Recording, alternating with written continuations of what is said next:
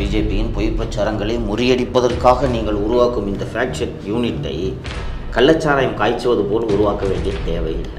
முதல்வரே பொய் சொல்கிறார் அசம்பிளியில் இவங்க ஃபேக்ட் செக் பண்ண போகிறாங்களா சட்டப்பேரவையில் பொய் சொல்கிறதுக்கு முதல்வர் மேலே ப்ரிவிலேஜ் ஆக்ஷன் எடுக்கணும். தொண்ணூத்தொன்பது சதவீத வாக்குகளை வாக்குறுதிகளை நிறைவேற்றி விட்டேன் என்று சிஎம் சொல்கிறார் அது ஃபேக்டா எந்த கொம்பனும் குறை சொல்ல முடியாத ஆட்சியை நடத்தி கொண்டிருக்கிறேன்றார் அது ஃபேக்டா இந்த ஃபேக்ட் செக்கிங் யூனிட்டோட நோக்கமே திமுக அரசை விமர்சனம் செய்கிறவங்களை காலி பண்ணுறது தான் அவ்வளோதான் எனக்கு இதில் ஒரு சதவீதம் கூட சந்தேகம் இல்லை.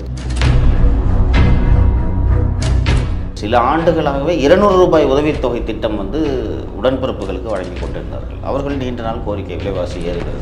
இருநூறு கோடிகள் சம்பாதிக்கிறீர்கள். எங்களுக்கு வெறும் இருநூறு ரூபாயா? எவ்வளோ பிற்போக்குத்தனமான ஒரு நடவடிக்கை மந்திரி சிஎம் இருக்குன்னா அவங்கள டேக் பண்ணி நீங்கள் தப்பு பண்ணுறீங்கன்னு சொல்ல முடியுது. அந்த அதிகாரத்தை பறிக்கிறதுக்காக தானே இந்த வேலை பண்ணுறாங்க அவங்க?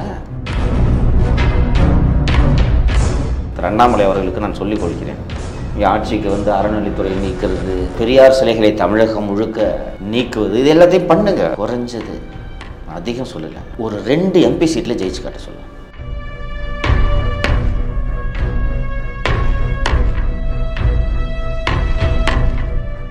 தமிழ் நேயர்களுக்கு வணக்கம். என்ற நேர்காணல் சிறப்பு வந்து மூத்த பத்திரிகையாளர் சவுக்கு சங்கர் அவர்கள். வணக்கம் சார். வணக்கம் அண்மையில் மெட்ராஸ் உயர்நீதிமன்றத்தில் அதிமுகவோட சேர்ந்த சிடிஆர் தர்மல்குமார் வந்து ஒரு வழக்கு தாக்கல் பண்ணியிருக்கார். தமிழ்நாடு அரசால் உருவாக்கப்பட்டதாக சொல்லப்படுகிற ஒரு ஃபேக்ட் செக்கிங் யூனிட்டுடைய செயல்பாடுகள் குறித்து அந்த உருவாக்கப்பட்டது அது தொடர்பாக வந்து கேள்வி எழுப்பி அது வச்சு அந்த வழக்கு தொடரப்பட்டிருக்குது. இந்த ஃபேக்ட் செக்கிங் யூனிட் அப்படின்னு ஒன்று தொடங்கப்பட்டிருக்குதா? அதை பற்றின தகவல்கள் எங்கே வெளியாகி இருக்குது எதை வச்சு இந்த கேஸ் போட்டிருக்காங்க? ஃபஸ்ட்டு நான் பிரேக் பண்ணேன். இந்த ஜியோ நான் தான் ரிலீஸ் பண்ணுறேன் மறுநாள் ஹிந்து நாளேடு வெளியிட்டிருந்தது. இந்த ஃபேக்ட் செக்கிங் யூனிட்டால் பலன் பெற்றவரான திரு. அயன் கார்த்திகேயன். அவர் நான் I am appointed I appointed myself self declaration. I appointed myself as mission director அப்படின்ட்டு அவர் ஒரு அறிவிப்பு வெளியிட்டிருந்தார். வேறு என்ன வேணும்? இன்னொன்று அதில் ஜியோ வெளியில் புது வெளியில் ஒரு பக்கத்தான் இருந்துச்சு. மொத்த ஜியோ காப்பி நான் தான் எடுத்து கொடுத்தேன். இதை வச்சு போட்டாங்க. அதில் என்ன இருக்குது இந்த ஜியோ யாரும் மறுக்கலையே இது வரைக்கும். அப்புறம் என்ன? இதை எதிர்க்கிறதுக்கான தேவை என்ன வந்துச்சு அப்படிங்கிற ஒரு கேள்வி எழுது இதை ஆதரித்து பேசக்கூடியவங்களாம் என்ன சொல்கிறாங்க அப்படின்னா ஒரு ஃபேக்ட் செக்கிங் யூனிட் அப்படிங்கிறது வந்து இங்கே ஹெச்பிச் அந்த மாதிரியான விஷயங்கள் இருக்குது பாஜக தொடர்ச்சியாக வாந்திலாம் பரப்பிட்டு இருக்காங்க. அதுக்கு எதிராக அரசாங்கம் ஒரு நல்ல முன்னெடுப்பு எடுக்குது. நீங்கள் ஏன் பதறீங்க? அப்போ நீங்கள் ஏதாவது பிரச்சனை பண்ண போகிறீங்களா உங்களுக்கு ஏன் பயம் வருது அப்படின்னு இதை எதிர்க்கவங்க நோக்கி அவங்க கேள்வி வைக்கிறாங்க. அவங்க ஆயிரம் கேள்வியை முன் வைப்பாங்க. எதுக்கு திருட்டுத்தனமாக பண்ணுற அவ்வளோதான் கேட்குறேன் ஏன் அவ்வளோ ரகசியம்? நீங்கள் சொல்வது போல் பிஜேபியின் பொய் பிரச்சாரங்களை முறியடிப்பதற்காக நீங்கள் உருவாக்கும் இந்த ஃபேக்ட் செக் யூனிட்டை கள்ளச்சாராயம் காய்ச்சுவது போல் உருவாக்க வேண்டிய தேவையில்லை. இப்போ நீங்கள் இப்போ டிஸ்டிலரிக்கு போனீங்கன்னா அங்கே வெளியில் லைசன்ஸ் வாங்கி அவங்க தொழிற்சாலை நடத்திட்டு இருக்காங்க. கள்ளச்சாராயம் எப்படி காய்ச்சுவாங்க? காட்டுப்பகுதியில் போயில ரகசியமாக கிட்டத்தட்ட அது மாதிரி இல்லை ஃபேக்ட் செக் யூனிட்டு இல்லை அதில் தெளிவாக வந்து இத்தனை பேர் நாங்கள் நியமிக்க போகிறோம் இங்கே ஆஃபீஸ் போட போகிறோம் இவ்வளோ செலவினங்கள்லாம் அந்த ஜீவோவில் குறிப்பிட்டிருக்காங்க. குறிப்பிட்டிருக்கு. ஜீவோ எங்க? ஜீவோ எங்க தமிழ்நாடு அரசின் இணையதளத்தில் முக்கிய ஜீவோ அரசாணைகள் வெளியிடப்படுவதற்கு தனியாக ஒரு பிரிவு இருக்கா? அதில் இருக்க அந்த ஜீவோ இல்லை. இது தொடர்பாக செய்தி குறிப்பு வந்துச்சா? இல்லை. அப்போ கிட்டத்தட்ட கலாச்சாரம் காய்ச்சல் மாதிரி தான் இல்லை அப்படி ஏன் செய்யணும் அப்படிங்கிற அவசியம் அரசாங்கத்துக்கு என்ன வந்துச்சுன்னு நினைக்கிறீங்க? அது அரசாங்கம்னா நீங்கள் யாரை சொல்கிறீங்க கவர்மெண்ட் தான் இதை அரசாங்கம்னா அரசாங்கத்தில் யாரை குறிப்பிடுகிறீர்கள்? முதலமைச்சர் துறை முதலமைச்சருக்கு இது மாதிரி ஒன்று நடந்து ஜீவோல கையெழுத்து போட்ட உதயநிதி ஸ்டாலின் அவர் கீழே தான் வருது அப்படிங்கிறாங்க. அவங்களுக்கெல்லாம் வந்து இது மாதிரியான ஒரு ஃபேக்ட் செக்கிங் யூனிட் இது எத்தகைய பாரதூர விளைவுகளை ஏற்படுத்தும் என்பதெல்லாம் முதல்வருக்கும் புரியாது அவர் மகனுக்கும் புரியாது. என்ன அவங்க ஃபைல்லாம் படிச்சு பார்த்து கையெழுத்து போட்டிருக்காங்கன்னு போடுறாங்கன்ட்டா நம்பிக்கிட்டு இருக்கீங்க? கேட்பாங்க. அண்ணே இது இந்த ஃபேக்ட் செக் இப்போ சொன்னீங்க தெரியுமா நீங்கள் பிஜேபியின் பொய் பிரச்சாரங்களை இதே உருட்ட உதயநிதிட்ட உருட்டியிருப்பாங்க. அப்படின்னா ஓகேன்னு போட்டிருப்பாரு. உள்ளே படித்து பார்க்கணும்ல. படித்தா புரியுதான்றது எனக்கு சந்தேகம். இல்லை அந்த ஜீவோவை நீங்களும் இது பண்ணியிருந்தீங்க. ஒரு சில ஊடகங்களில் அதை கொஞ்சம் விரிவாக பேசியிருந்தாங்க. அதில் வந்து சில கேள்விகள் எழுது. இப்போ வந்து கவர்மெண்ட் பேஸ்டில் கவர்மெண்ட்டுக்கு எதிரான தவறான தகவல்கள் பரப்புனா நடவடிக்கை எடுக்கலாம் அப்படிங்கிற ஒரு கருத்து இருக்குது நான் ஒரு செய்தியை மட்டும் பதிவு பண்ணலாம்னு நினைக்கிறேன்.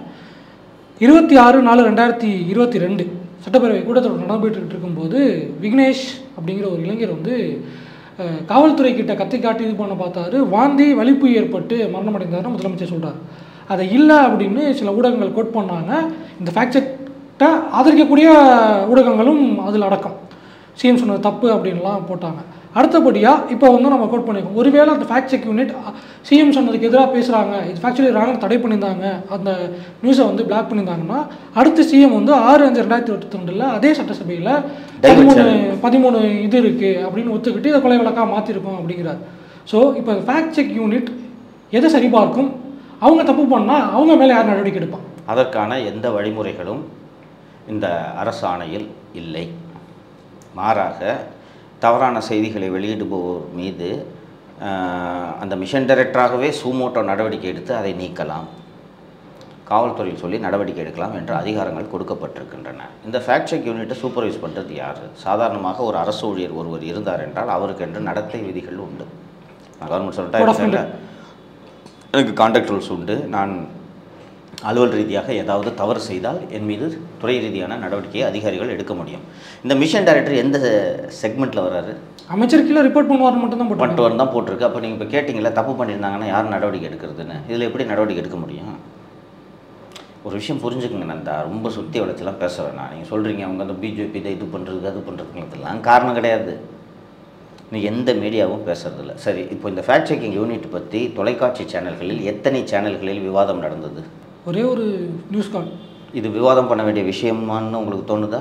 கண்டிப்பாக ஒரு அரசாங்கம் ஒரு துறை கொண்டு வந்திருக்காங்க அப்படிங்கும்போது அதை விவாதம் பண்ணி தான். சன் நியூஸ் இந்த குணசேகரன் என்பவர் கருத்து சுதந்திரத்துக்காக நரம்புகள் புடைக்க பேசுவார். பார்த்துருக்கீங்களா? ஏன் பார்க்கல கார்த்தி செல்வன் ஏன் வைக்கல? மற்றவங்க ஏன் வைக்கல? ஏனென்றால் இவர்கள் அத்தை நான் குறிப்பிட்ட அத்தனை பேரும் அரசாங்கத்தின் ஊதுகுழல்கள்.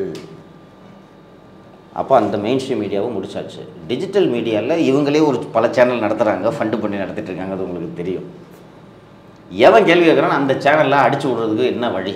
இன்னைக்கு என்ன ப்ரொவிஷன் இருக்குது சம்மந்தப்பட்ட நோடல் ஆஃபீஸருக்கு கவர்மெண்ட் வந்து லெட்டர் எழுதலாம். லெட்டர் எழுதலாம். அந்த நோடல் ஆஃபீஸருக்கு அரசு லெட்டர் எழுதுறதுக்கு என்ன எந்த அடிப்படையில் நீங்கள் எழுதுவீங்க?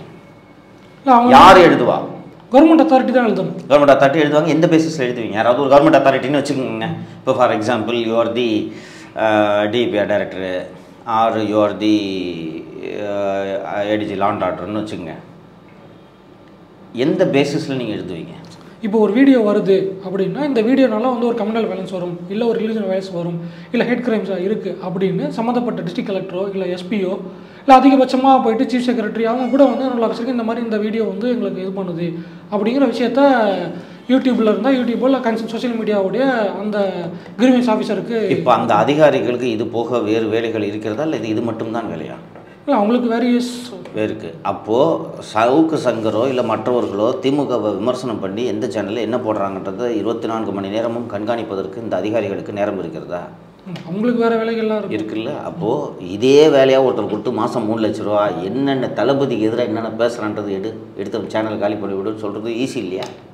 அதனால் இந்த ஃபேக்ட் செக்கிங் யூனிட்டோட நோக்கமே திமுக அரசை விமர்சனம் செய்கிறவங்கள காலி பண்ணுறது தான் அவ்வளோதான் எனக்கு இதில் ஒரு சதவீதம் கூட சந்தேகம் இல்லை. நீங்களே அழகாக தொடக்கத்தில் ஒரு சம்பவத்தை அந்த விக்னேஷ் என்கிற விக்னாவோட மரண சம்பவத்தை குறிப்பிட்டீங்க. முதல்வரே பொய் சொல்கிறார் அசம்பிளியில். இவங்க ஃபேக்ட் செக் பண்ண போகிறாங்களா சட்டப்பேரவையில் பொய் சொல்கிறதுக்கு முதல்வர் மேலே ப்ரிவிலேஜ் ஆக்ஷன் எடுக்கணும். ஹவுஸில் பொய் சொன்னது பொய் தானே சொன்னார்? வாந்தி எடுத்து செத்தான்னு. பொய் தானே?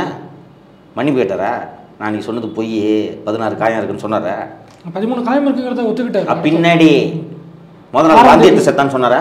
வாந்தி வெளிப்பு வந்து செத்தாங்க இருபத்தாறு நாள் சொல்கிறாரு கேஸை வந்து கொலை முயற்சி கேஸ் கொலை கேஸாக மாற்றிருக்கோன்னு ஆறு அஞ்சு ஸ்டேட்மெண்ட் கொடுத்துருக்காரு. அதில் வந்து அப்போ சிஎம்ஏ போய் சொன்னாரா? ஃபேக்ட் செக் பண்ணீங்களா? அதுக்கு முன்னாடி நாங்கள் ஃபேக்ட் செக் பண்ணி சொன்னாலும் இது போல சிஎம் புழுகிறாருன்னு. நாங்கள் தான் ஃபேக்ட் செக்கரு இந்த அரசாங்கம் சொல்லும் பொய்களை அம்பலப்படுத்துவதற்காக தான் ஃபேக்ட் செக்கர்ஸ் வேண்டும்.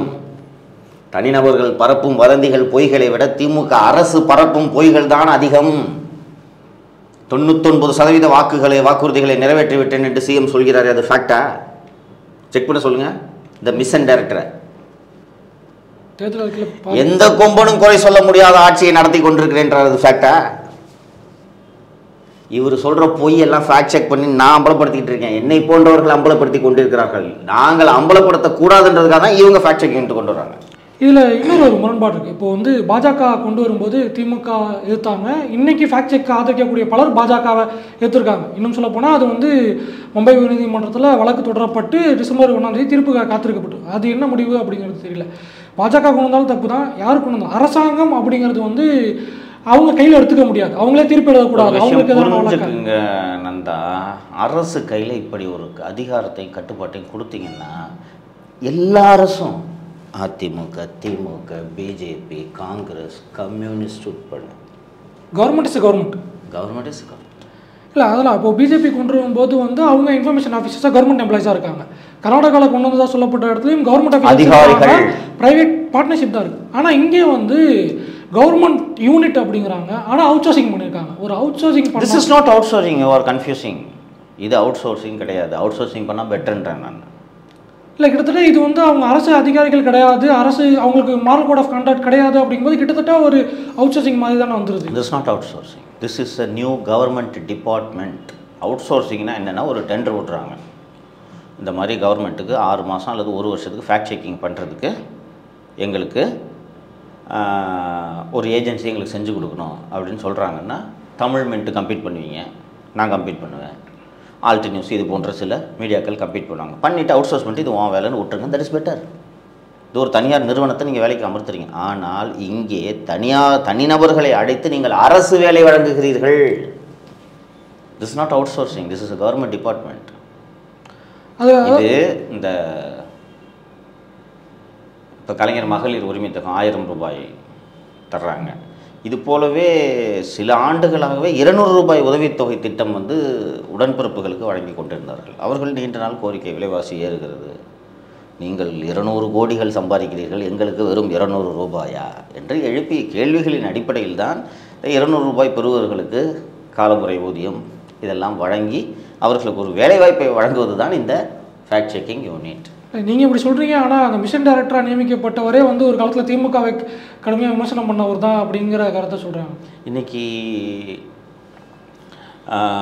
மனம் திரும்பிய மைந்தனாக அந்த ஆடு மந்தைக்கு திரும்பி விட்டது. அதாவது மந்தைக்கு திரும்பிய ஆடாகத்தான் அதை கருதி அந்த ஆடுக்கு இந்த வேலையை கொடுத்துருக்கிறார்களே ஒழிய அவர் ஒன்றும் திமுக ஏன் இப்படிலாம் பார்த்தோன்னா திமுக திட்ட கருணாநிதியெல்லாம் கண்ணா பண்ணி திருநாளுக்கு பூரா கலைஞர் வேலை பார்த்துருக்கேன் தெரியுமா?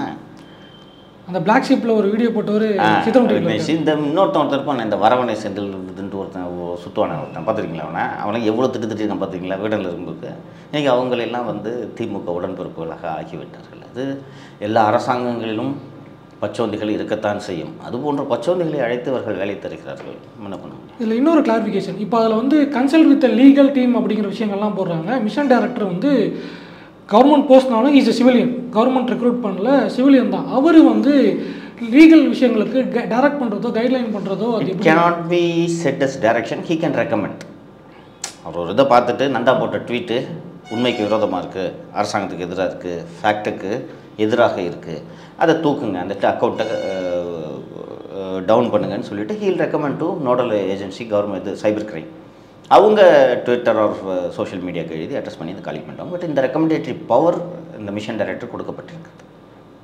இன்னொன்று அந்த இன்னொரு விஷயம் இந்த மிஷன் டைரக்டரை யூடியூப் சேனல்கள் தான் விவாதித்துக் கொண்டிருக்கிறீர்கள். வெகுஜன ஊடகங்கள் ஏன் விவாதிக்கவில்லை? அவங்களுக்கு பிரச்சனை இல்லை நினைச்சிட்டாங்க பிரச்சனை இல்லை நினைக்கிறத விட அவர்கள் அவர்கள் தானே அரசாங்கத்தோடு இருக்காங்களே. அவங்களை நோக்கி நீங்கள் சொன்னது ஒரு வகையில் கரெக்ட் அவங்களை நோக்கி குறிவைத்து வைக்கப்பட்டது இல்லையே. இதே போல் கொஞ்சம் யோசிச்சு பாருங்கள் இது வந்து எனக்கு ஒரு பர்சன்ட் கூட இது கருத்து சுதந்திரத்துக்கு எதிரானதுன்ற சந்தேகம் எனக்கு இல்லை. சரியா? இதே மாதிரி பிரிண்ட்டில் வர நியூஸை தணிக்கை பண்ணுறோன்ட்டு ஒரு அமைப்பை கொண்டு வந்தாங்கன்னா இந்த பிரிண்ட் இந்த மீடியா சும்மா இருக்கும்? என்றாம்லாம் முன்னாடி வந்து கொடி பிடிச்சி நிற்பார் தெரியுமா? இல்லை இப்போ அவங்களுமே வந்து விமர்சனம் பண்ணியிருக்காங்கல்ல பிற்போக்குத்தனமானதுன்னு கட்டுரையை எழுதியிருக்காங்க இந்து எழுதியிருக்காங்க. ஏன் அவர்கள் எல்லாம் வெளிப்படையாக வந்து பேசவில்லை? ஏன் பேசலை? இது எவ்வளோ பிற்போக்குத்தனமான ஒரு நடவடிக்கை? கருத்து சுதந்திரமே சோஷியல் இன்றைக்கி சோஷியல் மீடியாவில் தான் இன்றைக்கி ஒரு நிம்மதியாக பேச முடியுது. மந்திரி சிஎம் இருக்கான்னா அவங்கள டேக் பண்ணி நீங்கள் தப்பு பண்ணுறீங்கன்னு சொல்ல முடியுது. அந்த அதிகாரத்தை பறிக்கிறதுக்காக தானே இந்த வேலை பண்ணுறாங்க அவங்க? இன்னைக்கு வந்து இவங்க உடனடியாக அதை பண்ணாமல் இருக்கலாம். ஆனால் அதை நோக்கி தான் இது போகும். பிஜேபி கொண்டு வந்த திட்டங்கள் எல்லாமே பார்க்குறதுக்கு மக்களுக்கு நலம் பயக்கும். நல்ல திட்டங்கள் மாதிரியே தெரிஞ்சிச்சுல்ல எலக்ட்ரல் பாட்டு கொண்டு வந்தப்போ என்ன சொன்னாங்க? ஞாபகம் இருக்கா? இது வெளிப்படைத்தன்மை. வெளி ஆ, இது வெளிப்படைத்தன்மையா? அது மாதிரி தான் இது ஃபேக்ட் செக்யூரிட்டி இப்போது ஒரு பிரிண்டில் இருக்காங்க இல்லை வந்து டிஜிட்டல் மீடியாவில் இருக்காங்க சேட்டலைட் சேனல் அப்படின்னா அவங்கள அவங்க மேலே ஆக்ஷன் எடுக்கும்போது அவங்களுக்கு ஒரு பெரிய எஃபெக்ட் ஏற்படும். பிரிண்ட்டில் வந்து பேப்பரை பப்ளிஷ் பண்ண முடியலனாலோ இல்லை சேட்டலைட்டில் நம்பர் தூக்கி பின்னாடி அடித்தாலும் அவங்களுக்கு எஃபெக்ட் ஆகும். சோஷியல் மீடியாவில் பேன் பண்ணும்போது வந்து ஒரு ஐடி போச்சு அப்படின்னா ஒரு இமெயில் ஐடி இருந்தால் இன்னொரு யூடியூப் சேனல் இன்னொரு டொமைன் ஓப்பன் பண்ணிக்கலாம் ட்விட்டரில் இது பண்ணிக்கலாம். ஸோ இந்த ஒரு ஃபேக்ட் செக்கிங் மூலயமா எதிராக பேசுகிறவங்க வாயை அடைச்சிட முடியும்னு நினைக்கிறாங்களா? உங்களுக்கு எல்லாராலையும் அதை திருப்பி அந்த சேம் பாப்புலாரிட்டி அடைய முடியாது. என்ன வந்து ஒரு மெட்ராஸ் ஹைகோர்ட் ஜட்ஜு ஒரு பையன் அவர் காரை ஜட்ஜுக்காரை எடுத்துன்னு போனார் கோர்ட்டுக்கு துஷ்பிரயோகம் பண்ணார் அப்படின்னு சொல்லிட்டு ஒரு ஹைகோர்ட் ஜட்ஜு ஊருக்கே தெரியும் அவர் காரை எடுத்துன்னு போனது. பார்த்த வக்கீல் தானே சொன்னது நம்மக்கிட்ட அதை நான் பதிவு பண்ணியிருந்தேன். அவர் காண்டாகி சைபர் கிரைம்கிட்ட சொல்லி என் ட்விட்டர் அக்கௌண்ட்டை காலி பண்ணிட்டாங்க. அதுக்கு பிறகு நான் புதிய கணக்கு ஒன்றை திறந்து அப்போ அந்த அக்கௌண்ட்டில் இருந்ததை விட ஃபாலோவர்ஸ் எனக்கு கூடுதலாக இன்னைக்கு இருக்குது உங்களால் இதை பண்ண முடியுமா? கஷ்டம். பட் இதில் இன்னொரு ஒரு பாசிபிள் வேறு ஒரு நிறுவனம் ஒரு யூடியூப் சேனல் இன்றைக்கி நடத்துறீங்க உங்கள் தமிழ் மின்ட் நடத்துறீங்க எவ்வளோ சப்ஸ்கிரிப்ஷன் கிட்டத்தட்ட subscribers. கிட்டத்தட்ட நாலு லட்சத்தை ரீச் நாலு லட்சம் சப்ஸ்கிரைபர்ஸ் வச்சுருக்கீங்க. இன்றைக்கி உங்கள் சேனலில் பிளாக் பண்ணியிருக்காங்க. நாளைக்கு உங்களால் மிக எளிதாக ஒரு சேனலை தொடங்க முடியும். இதே செட்டப்பு புதுசாக சேனலாக இருக்குங்க நாலு லட்சம் ரீச் ஆக எவ்வளோ நாள் ஆகும்? மேபி ஃபியூ மந்த்ஸ் அந்த ஃபியூ மந்த்ஸ் வரைக்கும் ரெவன்யூ என்ன பண்ணுவீங்க? நடத்த முடியுமா? அதான் இவங்க நோக்கம். இந்தியாவுக்குள்ளே சேனல் இருந்துச்சு இல்லை இங்கே ஐடி இருந்துச்சுன்னா ஓகே வெளிநாட்டில் வச்சுட்டு இதை இங்கே ஆக்சஸ் பண்ண முடியும்?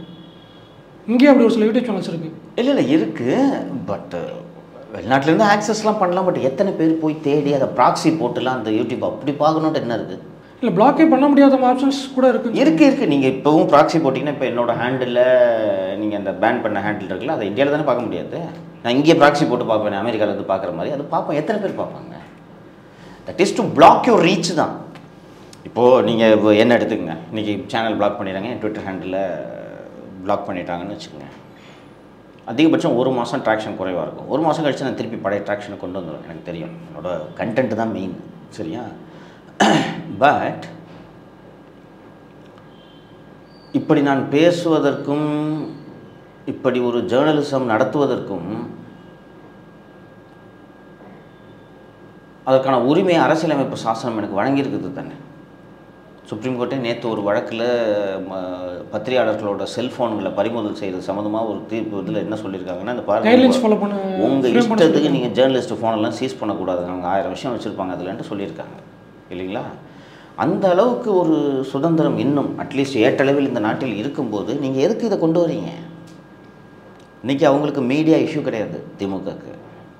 சோஷியல் மீடியாவில் இருக்கக்கூடிய இண்டிபெண்ட் ஜேர்னலிஸ்ட் தான் அவங்களோட பிரச்சனை. அவங்கள கண்ட்ரோல் பண்ணுறதுக்கு தான் இந்த ஃபேக்ட் செக்கிங் யூனிட் கொண்டு ஸோ இப்போ இந்த தீர்ப்பு இப்போ ஏற்கனவே அந்த பாம்பே ஜட்ஜ்மெண்ட் வந்து வந்துச்சு அப்படின்னா நெகட்டிவாக வந்துச்சு அப்படின்னா அதை வச்சு இங்கே பிரச்சனை இருக்கும். அதை தாண்டி ஒரு வேளை அது சென்ட்ரல் கவர்மெண்ட்டுக்கு ஃபேவராக வந்துச்சுன்னா இங்கே இருக்க அதை மேற்கோள் காட்டி இந்த கவர்மெண்ட் இதை அப்படியே கண்டினியூ பண்ணுறதுக்கு வாய்ப்பு இருக்குல்ல?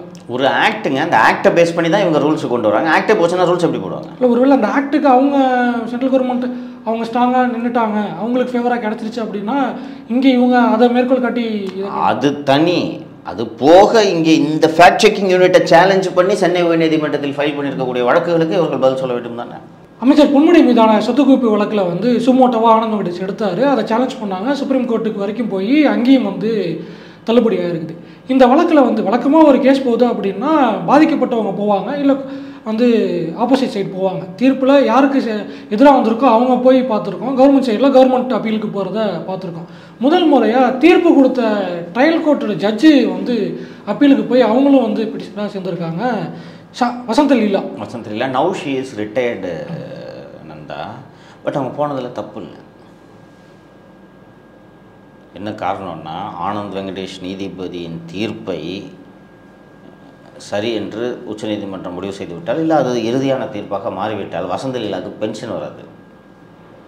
அவசர அவசரமாக எழுநூறு எண்ணூறு பக்கத்துக்கு ஜட்ஜ்மெண்ட் கொடுத்துட்டு மூணு நாள் ரிட்டைர்மெண்ட் இருக்கும்போது கொடுத்துட்டு போனவங்க தானே இவங்க? நூற்றி எழுபத்தி சாட்சிகள் முந்நூற்றி நாலு பக்க ஆவணங்களை எல்லாம் மூணு நாளில் போனாங்கல்ல? போனாங்கல்ல அப்போ கேட்பாங்க ஹைகோர்ட்டில் எப்படிங்க நீங்கள் மூணு நாள் இவ்வளோ படிச்சீங்கன்னு சொல்லிட்டு கேட்கும்போது இவங்க டிசிப்ளினரி ஆக்ஷன் எடுத்து she may lose her pension judicial ப்ராசஸை கொஞ்சம் ஃபாஸ்டன் பண்ணியிருக்காங்க அப்படின்னு எடுத்துக்கலாம். எடுத்துக்க முடியாது அப்படியே எப்படி நீ ஃபாஸ்ட் பண்ணி என்னது? தான் ஆனந்த் வெங்கடேஷ் கண்டுபிடிச்சாரு. அதனால் அதற்காக அவர்கள் சென்றெடுப்பார் என்று தான் நான் புரிந்து கொள்கிறேன். இப்போது இவங்க போனதும் பொன்முடி சைடில் அது வந்து இப்போ தள்ளுபடி ஆயிருச்சு. ஒரு ஐம்பது லட்ச ரூபா காசுக்கு பிடிச்ச கேடு. ம். இப்போ அது ஹைகோர்ட்டில் ப்ரொசீடிங்ஸ் ஆகும்போது என்ன மாதிரியான பின்விளைவுகள் பொன்முடி ஒன்றும் இல்லை இதை முடிச்சுட்டு இந்த அப்பீலில் எடுத்து ரீட்ரையல் ஆர்டர் பண்ணலாம். திருப்பி ஃபஸ்ட்டாக ஃபஸ்ட்லேருந்து விசாரிங்கன்னு சொல்லலாம். அப்படி இல்லைன்னா பொன்மொழியின் விடுதலையை ரத்து செய்து தண்டனையை உறுதி செய்யலாம். எது வேண்டுமானாலும் நடக்கும். இன்வெஸ்டிகேஷன் ஃப்ரெஷ்ஷாக ஸ்டார்ட் பண்ணுறதுக்கு வாய்ப்பு இருக்கா? அதுக்கான பாசிபிலிட்டி மிக மிக குறைவு என்று நான் நினைக்கிறேன். ட்ரையலை திருப்பி நடத்த சொல்லுவாங்க. ஃப்ரெஷ்ஷாக ஒரு ஜட்ஜிக்கிட்ட போய் நீங்கள் திருப்பி ட்ரையல் அட்டன் பண்ணுங்கன்னு சொல்லுவாங்க. இந்த கேஸை தாண்டி அந்த மணல் நலன கேஸில் வந்து அவருடைய மகனை வந்து நேரில் ஆஜராக சொல்லி உத்தரவு போட்டிருக்காங்க. அந்த வழக்கில் இவரும் கூட இருக்கார். ஏ ஒன் அவர் ஏ டூ இவர் இருக்காருன்னு நினைக்கிறேன். ஸோ அந்த கேஸ்லேயும் இவருக்கு ஒரு பாதிப்பு இருக்குது அப்படி அந்த கேஸில் அந்த இடிக்கியோட பர்வியூ எப்போவுமே வந்து ப்ரொசீட்ஸ் ஆஃப் க்ரைமை பற்றி தான் இடியோட பர்வே பர்வியூ அதிகம் இருக்கும் இந்த விவகாரத்தில் தவறை பொன்முடி செய்திருந்தாலும் அந்த பணத்தை வைத்து முதலீடுகளை செய்தது கௌதம் சிகாமணி என்ற அடிப்படையில் அமலாக்கத்துறை அவர் மீது குற்றப்பத்திரிகை தாக்கல் செய்திருக்கிறது. பொன்முடியை சார்ஜ் ஷீட்லேயே சேர்க்காததுனால அவருக்கு இதில் பெரிய சிக்கல் வரதுக்கு வாய்ப்பு. சனாதன ஒழிப்பு மாநாடு. அதில் வந்து விளையாட்டுத்துறை அமைச்சர் உதயநிதி ஸ்டாலின் பேசின ஒரு கருத்து வந்து தேசிய அளவில் பிரச்சனை ஆக்கப்பட்டுச்சு. பாஜக வந்து அதை திரித்து சொன்னாங்க. அதை தவிர்த்திருக்கலாம் அப்படிங்கிறது கூட்டணி கட்சிகளுடைய கருத்தாக கூட இருந்துச்சு. அந்த விவகாரத்தில் அவங்க மேலே ஏன் ஆக்ஷன் எடுக்கல அப்படிங்கிறத ஹைகோர்ட் கேட்டிருந்தாங்க. என் ஸ்டாண்ட் அதுதான் அப்படின்னு உதயநிதி வந்து இன்னமும் சாலிடாக ஸ்ட்ராங்காக இருக்கிறத நீங்கள் எப்படி பார்க்குறீங்க நல்ல விஷயம். ஒரு ஒரு கொண்ட கொள்கையில் நாளைக்கு வந்து உதயநிதி ஒரு பெரிய பெரியாரிஸ்டாக மாறுவதற்கு கூட வாய்ப்பு இருக்கிறது. உதயநிதி இதே மாதிரி ஒரு சனாதன எதிர்ப்பு போராளியாக திரு வீரமணி அவர்களுக்கு வயது முதிர்ந்து விட்டது இல்லைங்களா? ஸோ ஐயா திரு வீரமணி அவர்கள் விட்டு சென்ற பணியை அந்த இடத்திலிருந்து சின்னவர் எடுத்து செல்வார் என்று நம்புகிறேன். அவர் அவர் விட்டு சென்ற இடத்தை நிரப்பத்துக்கு அவர் பையன் இருக்கார்ல சார். ஆமாம் அங்கேயும் இந்த கம்பஷன் போட்டிருக்காங்கன்னு நினைக்கிறேன். இருக்காங்க இல்லை. இவர் அவர் அங்கே தீக்கலேருந்து தொடரட்டும் இவர் இங்கேருந்து நான் இனிமேல் எனக்கு வேலை சனாதனத்தை ஒழிக்கிறது தான் அப்படின்ட்டு போய் பண்ணிட்டோம். வாழ்த்துக்கள். தமிழ்நாட்டுக்கு ஒரு வாழும் பெரியாராக திரு உதயநிதி உருவாகியிருக்கிறார் என்று நான் புரிந்து கொள்கிறேன். இதில் வந்து சேகர் பாபு மேலையும் தான் சேர்த்து கொடுத்துருந்தாங்க. அவர் வந்து என்ன சொல்கிறார் அப்படின்னா இந்து சமய அறநிலைத்துறை கீழே இருக்க நிலங்களை இந்துக்கள் இந்துக்கள்ங்கிற பேரில் சில ஆக்கிரமிச்சிருந்தாங்க. அந்த வலதுசாரிகள் மேலெல்லாம் நடவடிக்கை எடுத்து ஆக்கிரமிப்புகளை மீட்டு நான் வந்து அரசாங்கத்துக்கு சேர்த்து நல்லது பண்ணியிருக்கேன். அதுக்காக உள்நோக்கத்தோட என் மேலே வந்து இந்த மாதிரி வழக்கு தொடர்ந்துருக்காங்கிறார் அண்ணன் திரு சேகர் பாபு சொல்கிறது it is not way off mark அவர் சொல்கிறதுல உண்மை இருக்குது மீண்டும் மீண்டும் அறநிலைத்துறைன்றதே ஒழிக்கணும்னு சொல்லிட்டு இவங்க சொல்லிட்டு இருக்காங்க எல்லாரும் பேசுகிறாங்களா பிஜேபியில்? இவங்களோட நோக்கம் இந்த மாதிரி இருக்கிறது. அதாவது என்னென்னா சாமி மற்றும் சாமி சார்ந்த இடங்கள் பூரா எங்களுக்கு சொந்தம்னு ஒரு சமூகம் நினைக்குது. எங்கிட்டே கொடுத்துருங்க அதை. இல்லை இப்போ அறநிலைத்துறை தாண்டி இன்னொரு ஸ்டேட்மெண்ட்டை இப்போ அண்மையில் அண்ணாமலை சொல்ல சார் பாஜக ஆட்சிக்கு வந்தால் முதல் கையெழுத்து வழிபாட்டு தலங்களுக்கு வெளியே இருக்கிற கடவுள் பற்றின அந்த பெரியாருடைய கோட் வச்சுருக்க அந்த கல்வெட்டை நீக்கிட்டு பெரியார் சிலையையும் நாங்கள் நீக்குவோம். அதான் எங்களுடைய முதல் குறிக்கோள்கிறார் நெக்ஸ்ட்டு அதான் நெக்ஸ்ட்டுன்னு சொல்லிட்டேன்லப்பா. ஆட்சிக்கு வரணும்னீங்கல்ல வரணும்ல? கூரை ஏறி கோழி பிடிக்க முடியாதவன் வானம் ஏறி வைகுண்டம் பிடித்தான்ற ஒரு பழமொழியை கேள்விப்பட்டிருக்கீங்களா நீங்கள் நான் ஒன்றும் இல்லை. ஒரு என் நண்பர் தான். திரு அண்ணாமலை அவர்களுக்கு நான் சொல்லிக் கொள்கிறேன். இங்கே ஆட்சிக்கு வந்து அறநிலைத்துறை நீக்கிறது அண்டு பெரியார் சிலைகளை தமிழகம் முழுக்க நீக்குவது இது எல்லாத்தையும் பண்ணுங்க. ஒரு அவரோட அவரோட கொள்கையாக அதை சொல்கிறாரு நம்ம அதை தவறு சொல்லணும் அவரோட கொள்கை. நம்ம அதுக்கு நான் அதுக்கு நே- நேரிட எதிர் நிலைப்பாட்டில் இருக்கேன். அதெல்லாம் நீங்கள் பண்ணுங்கள் முதல் கை எது போடுறன்றதுலாம் ரொம்ப நல்ல விஷயம். அது உங்களை ஆசை. பண்ணுங்க. குறைஞ்சது அதிகம் சொல்லலை. ஒரு ரெண்டு எம்பி சீட்டில் ஜெயிச்சு காட்ட சொல்லலாம் இருபத்தி நாலில் பெரிய கட்சி இந்தியாவிலே அங்கே ஆட்சிக்கு வந்தால் இப்படி. ரெண்டு எம்பி சீட்டு. அதிகம் சொல்லலை. ரெண்டு சீட் ஜெயிச்சு காட்ட சொல்லு. அப்புறம் அவர் சொல்கிற இப்போ நீங்கள் சொன்னீங்கல்ல ஆட்சிக்கு வந்தால் பெரியார் சிலை நீக்கு வந்து கல்வெட்டு எடுக்க வந்து. அது அப்புறம் பேசிக்கலாம். ரெண்டு சீட் நான் அதிகம். அந்த ரெண்டில் கன்னியாகுமரி இருக்கக்கூடாது அதையும் சொல்லிடுறேன் வேற எங்கேயாவது ஜெயிச்சு காட்டு கோயம்புத்தூர். ஜெயிச்சு நான் சேர்த்து சொல்கிறேன் ரெண்டு சீட்டு ரெண்டு சீட்டு ஜெயிச்சு காட்டுங்க அண்ணாமலை சொல்கிறத நான் மதிப்பு கொடுத்து அதை முழுமையாக உள்வாங்கி சாத்தியங்க இதுன்னு சொல்கிறேன் ஆட்சிக்கு வந்தால் ஒருவேளை அவங்க பண்ணிடுவாங்க அப்படின்றத சொல்கிறேன் முதல்ல ரெண்டு சீட்டு ஜெயிச்சு காட்டுங்க இதுவரை எங்களோட இருந்து கருத்துக்களை பயந்தமைக்கு நன்றி. நன்றி நந்தா.